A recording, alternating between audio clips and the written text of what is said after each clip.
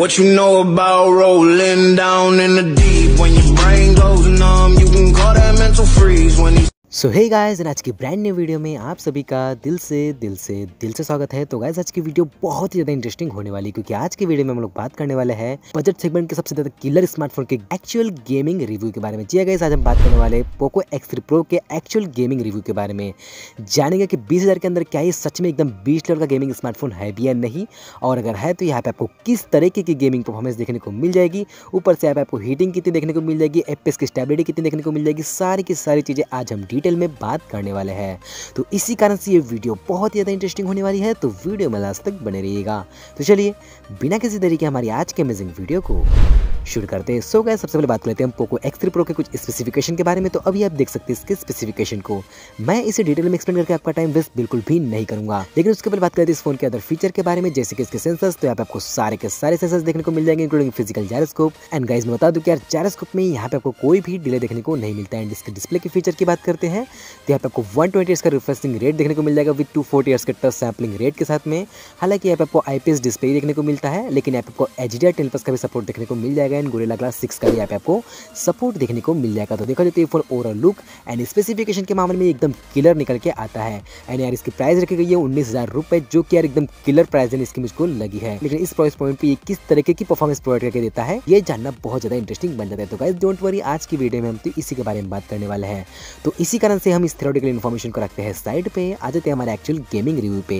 तो लिटरली हम इसमें टेस्ट करने वाले पबजी मोबाइल को। एंड पबजी मोबाइल में आपको जो बाय डिफ़ॉल्ट ग्राफिक्स देखने को मिलती है तो जैसे कि सभी ने एक्सपेक्ट किया था कि रैप आपको देखने को मिलती है स्मूथ में एक्सट्रीम यहाँ पे आपको बाय डिफ़ॉल्ट देखने को नहीं मिलता है नाइन्टी प्लस लेकिन वो बहुत जल्दी फ्यूचर में अनलॉक हो ही जाएगा, क्योंकि यहाँ पे आपको इसी परफॉर्मेंस ही देखने को मिल जाएगी। बात करते हैं इस फ़ोन के हाइस्ट ग्राफिक्स के बारे में। तो यहाँ पे आपको बैलेंस में भी एक्सट्रीम एच में एक्सट्रीम एंड एच में भी आप इसमें एक्सट्रीम ग्राफिक्स में गेम प्ले कर पाएँगे। रही बात करते हैं अल्ट्रा एचडी के बारे में तो अल्ट्रा एचडी में आप अल्ट्रा ग्राफिक्स में गेम प्ले कर पाएँगे। यानी कि पबजी जितने हाइस्ट ग्राफिक्स अभी फ़िलहाल आपको प्रोवाइड करके देता है, ये फ़ोन उतने ही हाइस्ट ग्राफिक्स अभी सपोर्टेबल है। तो ग्राफिक्स के मामले में यहाँ पे आपको तो सच में बिल्कुल आपको तगड़े देखने को मिल जाएगी, लेकिन जानना ये इंटरेस्टिंग होगा कि भाई सिक्सटी एपीएस में आपको परफॉर्मेंस ही किस तरीके की प्रोवाइड करके देता है। तो लिटरली कैसे हम इसी टेस्ट करने वाले स्मूथ और एक्सट्रीम पे।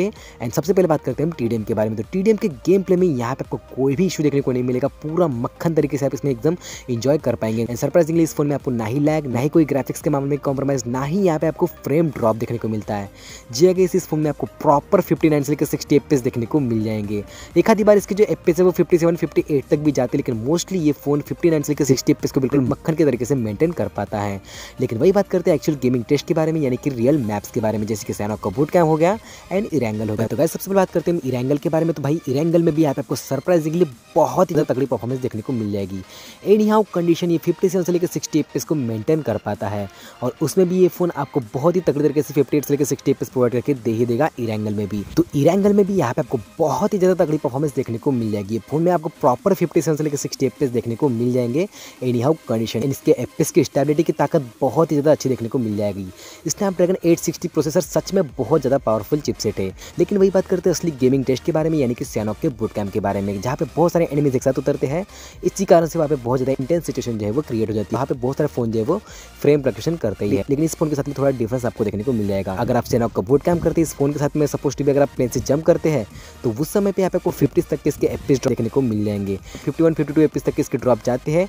लेकिन अच्छी बात है कि वो फटाक से रिकवर हो जाते हैं और लैंड करते करते यहाँ पे आपको fifty five fifty six FPS देखने को मिल जाएँगे और जैसे ही आप लैंड कर चुके हो और आप बहुत सारे एनिमीज के सराउंडेड हो, उस समय पे भी ये फ़ोन आपको प्रॉपर फिफ्टी से लेकर सिक्सटी एपीस प्रोवाइड करके देता है। हालाँकि एक दो बार इसके एपीस जो वो फिफ्टी तक भी गए थे, लेकिन मोस्टली यानी कि मैं कहूँ तो ये नाइन्टी तक ये फिफ्टी सेवन को मेंटेन कर पाता है।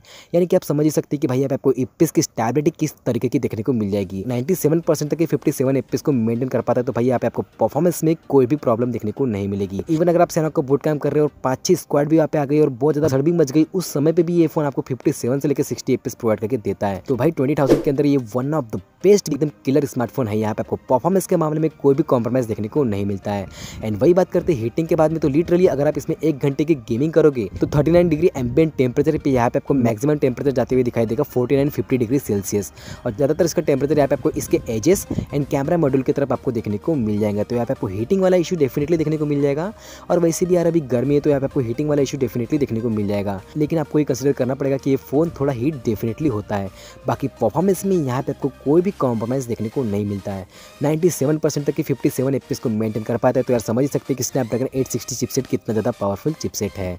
तो आ जाते हैं हमारे कंक्लूजन के ऊपर। तो भाई पोको एक्स थ्री प्रो कैसा है गेमिंग के लिए? तो one of the best smartphone है गाइज़ ये ट्वेंटी थाउज़ेंड के अंदर, जो आपको इतनी तगड़ी परफॉर्मेंस प्रोवाइड करके देता है। मैं तो आपको हाईली रिकमेंड करूँगा कि भाई इस फ़ोन को आपको डेफिनेटली कंसिडर करना चाहिए एज अ गेमिंग पर्पज अब तक आते सबसे ज़्यादा बेस्ट बजट स्मार्टफ़ोन मेरे नज़रिए में तो है। बाकी कैसे आप सभी अपना ओपिनियन मुझे कमेंट करके ज़रूर बताइएगा कि आपको ये फ़ोन कैसा लगा एंड क्या आप इस फ़ोन को बाय करना चाहोगे भी या नहीं as a gaming purpose and हाँ अगर अभी तक आपने इस वीडियो को लाइक शेयर नहीं किया तो लाइक शेयर कर दो। नए हो तो सब्सक्राइब करके जाना क्योंकि ऐसी अमेजिंग वीडियो आपसे बिल्कुल भी मिस नहीं होनी चाहिए। सुपर हिट सुपर हिट पसंद आया? लाइक करो। पसंद नहीं आया तो टेस्ट चेंज करो। Love you